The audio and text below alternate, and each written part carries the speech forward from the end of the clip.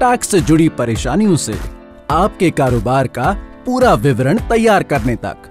Big bless हर कारोबारी की खुशियों की चाबी, खुशियों की अपनी दुकान।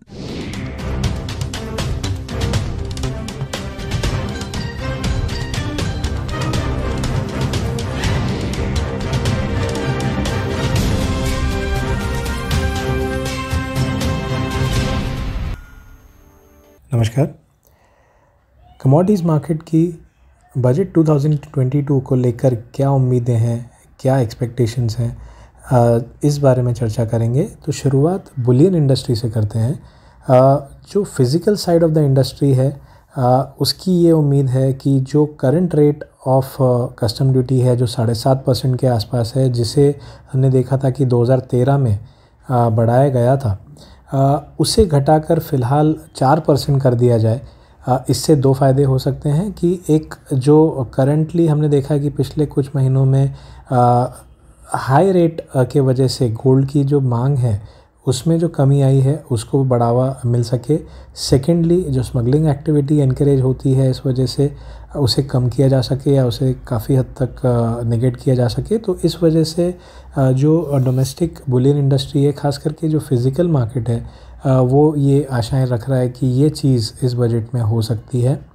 सेकेंडली जो निवेशक हैं, उनको इनक्रेज करने के लिए long term capital gains tax जो है, जो तीन साल बाद लागू होता है जब आप गोल्ड होल्ड रखते हैं और तीन साल के बाद जब आप बेचते हैं तो एलटीसीजी अप्लाई होता है। उसकी जो दर है, वो ट्वेंटी परसेंट है। उसे अगर घटा सकें तो जो निवेश मांग है गोल्ड के लिए, एक ऑल्टरनेट एसेट की तरह, वो उभर के आएगी। तो ये एक बड़ी मांग जो है बुलियन इंडस्ट्री की तरफ़ से है। सेकेंडली जो ब्रोकिंग साइड है या मैं कहूँगा कि जो डेरिवेटिव्स मार्केट है वहाँ पर एक बड़ी मांग ये है कि जो सीटीटी लगाया जाता है, यानी कमोडिटी ट्रांजैक्शन टैक्स जो हमने देखा है कि अगेन आठ, सात या आठ साल पहले से लागू था। क्योंकि अगर हम 2013 की बात करें तो उस टाइम पे जो सी था वो नेग्लिजिबल था या जो ट्रांजैक्शन कॉस्ट थे काफ़ी कम थे। आ, लेकिन फ़िलहाल जो है काफ़ी रीज़नेबल है। आ, तो उस वजह से जो एक बढ़ावा मिलना चाहिए या एक बूस्ट मिलना चाहिए कमोडिटी डेरिवेटिव साइड को वो फ़िलहाल नहीं मिल पाता ऐसा इंडस्ट्री आ, का मानना है। तो अगर हम वॉल्यूम भी देखें तो 2012 या 2013 में करीबन 80 से नब्बे हज़ार करोड़ के ओवरऑल एवरेज डेली टर्नओवर हुआ करता था, जो आज तीस हज़ार करोड़ के भी नीचे है। तो बढ़ने के बजाय हमने देखा है कि जब से सी लागू हुआ है, जो आर्बिट्राजर्स थे या जो समझ लीजिए जॉबर्स थे, वो कहीं ना कहीं गायब हो गए हैं क्योंकि उन्हें वो इंसेंटिव नहीं मिलता। इसके पीछे एक सोच ये है कि ओवर स्पेकुलेशन हो रही थी, लेकिन इंडस्ट्री का कहना ये है कि स्पेकुलेटर्स ज़रूरी हैं। अगर हेजर्स का रिस्क आपको लेना है तो वो कौन उठा सकता है? वो स्पेकुलेटर्स उठा सकते हैं। तो स्पेकुलेशन पर से आ, कोई गलत चीज़ नहीं है। स्पेकुलेटर्स जो हैं वो हेजेस का रिस्क उठाते हैं। तो अगर मार्केट को ज़्यादा डीप बनाना है ज़्यादा लिक्विड बनाना है तो ये जो ट्रांजैक्शन टैक्स है इसे वापस लिया जाए या काफ़ी हद तक मिनिमाइज़ किया जाए ये एक मांग उभर के आ रही है। तो इस पर क्या आ, फ़ैसला होगा? आ, वो देखना आवश्यक है। तीसरी चीज़ ये भी है कि जो कमोडिटीज़ हमने देखा है कि काफ़ी हद तक 2021 में काफ़ी सारी एग्री कमोडिटीज़ चाहे वो राइस हो या फिर सोयाबीन हो या एडिबल कॉम्प्लेक्स के काफ़ी सारे कमोडिटीज़ हैं सीपीओ हुआ रिफाइंड ऑयल हुआ, वहाँ पर हमने बैन लगते हुए देखे। तो इससे एफ़ या एफपीआई जिनको अलाउ किया गया है कमोडिटीज़ मार्केट में पार्टिसिपेट करने के लिए, वो डिस्करेज होते हैं बिकॉज़ एक अनसर्टेनिटी रहती है कि कब कोई कमोडिटी बैन हो जाए, उसका भरोसा नहीं है। तो ये जो है इस चीज़ को एड्रेस करना ज़रूरी है। अगर हम कमोडिटीज़ मार्केट डेरिवेटिव्स और फ़िज़िकल मार्केट दोनों का डेवलपमेंट अगर चाहते हैं तो इस चीज़ को एड्रेस करना काफ़ी आवश्यक है। ऐसा इंडस्ट्री का मानना है। तो इसको लेकर हो सकता है कि कुछ चर्चा हो सके तो बेहतर रहेगा इंडस्ट्री के लिए। सेकेंडली अगर हम एग्री कमोडिटीज़ की बात करें तो फ़ूड और फर्टिलाइज़र्स को लेकर सब्सिडीज़ की मांग तो डेफिनेटली रहती है और गवर्नमेंट उसे पूरा भी करती है। तो इस साल लगभग तीन लाख करोड़ की सब्सिडीज़ मिलने की उम्मीद इंडस्ट्री रख रही है। जो लगभग पूरे बजट का जो लगभग बत्तीस से पैंतीस लाख करोड़ के बीच का बजट है। उसका लगभग नौ से दस प्रतिशत हो सकता है।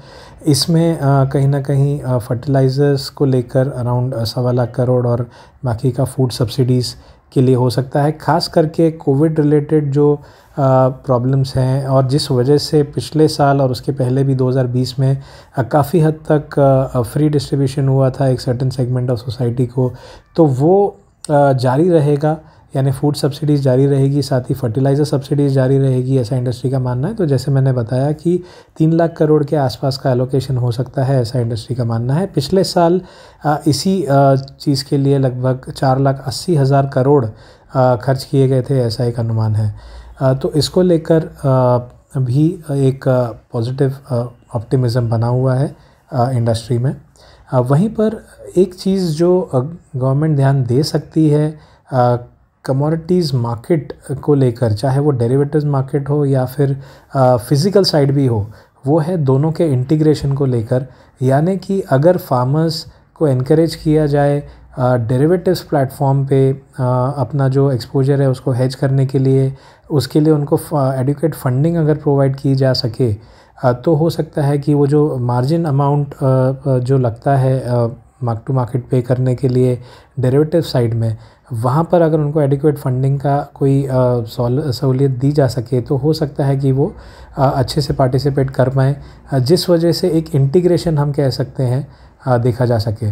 साथ ही साथ ये भी एक उम्मीद है कि जो फार्म्स है, उसके नज़दीक ही अगर वेयर हाउसिंग को बढ़ावा दिया जा सके और warehousing development and regulatory authority है, उसको अगर रिवाइव किया जा सके ताकि जो पेरिशेबल कमोडिटीज़ है, खास करके जिनकी शेल्फ़ लाइफ कम होती है, उनको स्टोरेज में रखा जा सके और फिर फार्मर अपने सहूलियत से उनको बेच पाए और अपने मर्ज़ी से बेच पाए तो उससे जो फार्म सेक्टर है और जो एग्री इंडस्ट्री है इंडिया में उससे काफ़ी हद तक एक बड़ा बूस्ट मिल पाएगा।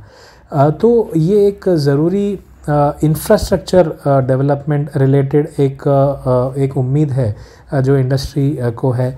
और अगर इंडिया को पाँच ट्रिलियन डॉलर की इकोनॉमी बनना है, उसमें से काफ़ी मेजर पार्ट एग्रीकल्चर का भी होगा तो एग्रीकल्चर पे अगर आज ही ध्यान दिया जाए और ख़ास करके जो मैंने पहले भी कवर किया कि जो फार्म सेक्टर है या जो फ़िज़िकल साइड है चाहे वो फार्म हो या फिर इवन जो फ़िज़िकल बुलियन इंडस्ट्री है, उसका इंटीग्रेशन जिसे हम कहते हैं कि जो तालमेल है वो अगर डेरिवेटिव साइड के साथ ज़्यादा बढ़ाया जाए तो ये दोनों इंडस्ट्रीज़ जो है, जो सेपरेट हैं, फ़िलहाल फंक्शनिंग है, काफ़ी हद तक अगर उनको मिलाया जाए तो हम लोग जो है अपने गोल की तरफ़ बढ़ सकते हैं, जहाँ फार्म सेक्टर की इनकम भी बढ़ सकती है, क्योंकि उनका जो रिस्क होगा, वो काफ़ी हद तक कम हो सकता है। प्राइस गिरने की वजह से जो रिस्क होता है, अगर वो हेज कर सकें एक्सचेंज के प्लेटफॉर्म पर तो काफ़ी हद तक उनकी इनकम एक तरह से बढ़ सकती है, या एक एक फिक्स्ड जो हेज्ड इनकम है, वो उन्हें मिलने की उम्मीद हो सकती है। तो ये चीज़ें जो हैं, इसी बजट में नहीं बल्कि अगर आप एक लंबा नज़रिया रखना चाहते हैं अगले दो या तीन या चार साल के लिए या अगले दस सालों के लिए तो आज से ही अगर इन चीज़ों पे ध्यान दिया जाए तो काफ़ी हद तक कमोडिटीज़ साइड के लिए जो ग्लोबली काफ़ी बड़ा मार्केट है बट इंडिया में अभी फ़िलहाल डेवलप नहीं हुआ है, उसके लिए काफ़ी हद तक अच्छा रहेगा। तो जस्ट टू समराइज़ गोल्ड पे कस्टम ड्यूटी कम करना लॉन्ग टर्म कैपिटल गेंस को रैशनलाइज करना कम कमोडिटी ट्रांजैक्शन टैक्स को अगर वापस लिया जा सके तो बेहतर है, लेकिन अगर नहीं तो काफ़ी हद तक उसे रैशनलाइज करना। साथ ही साथ एग्री साइड पे warehousing development infrastructure development और साथ ही जो फार्मर्स हैं, उनको अगर हेजिंग करने के लिए एक प्लेटफॉर्म दिया जाए और उसके लिए फ़ंडिंग की सहूलियत दी जा सके।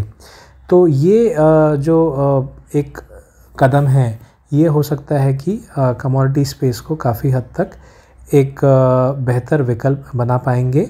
जिस तरह से इक्विटी मार्केट इंडिया में डेवलप हुआ है, उसी तरह से हम देख पाएँगे कि कमोडिटी साइड भी काफ़ी हद तक अगले अगले कुछ सालों में डेवलप हो सकता है। तो ये था एक विश्लेषण की बजट से क्या उम्मीदें हो सकती हैं। धन्यवाद। आपके हर बिल को बनाने और उसका हर हिसाब रखने तक बिग ब्लेस हर कारोबारी की खुशियों की चाबी, खुशियों की अपनी दुकान।